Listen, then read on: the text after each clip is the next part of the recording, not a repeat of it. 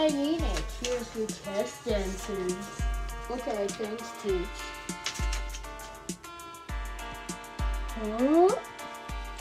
Teacher, why did I get an F? I got everything right. I know everything right. Your handwriting has Guess you won't be getting that PS5 you wanted.